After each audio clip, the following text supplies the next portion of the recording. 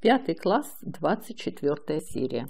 Можно ли организовать футбольный турнир для пяти команд так, чтобы каждая команда провела по три встречи?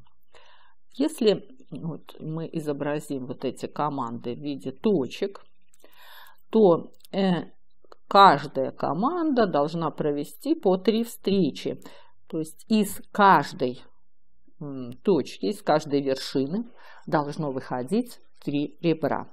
Другими словами, можно э, сформулировать вопрос так. Существует ли граф, состоящий из пяти вершин, э, степень каждой вершины равна трем, потому что из каждой э, точки должно выходить три ребра, потому что каждая команда провела по три встречи. Причем обратите внимание, одна встреча на две команды.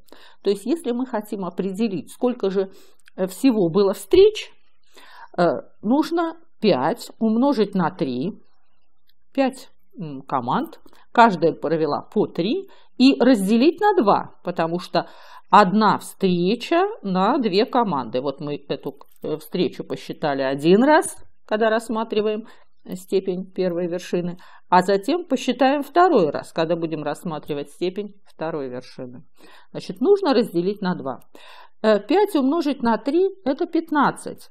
Перемножаются нечетные числа, значение произведения, число нечетное, 15, на 2 не делится, значит, такой турнир организовать нельзя. Ответ – нет. Нельзя организовать такой турнир.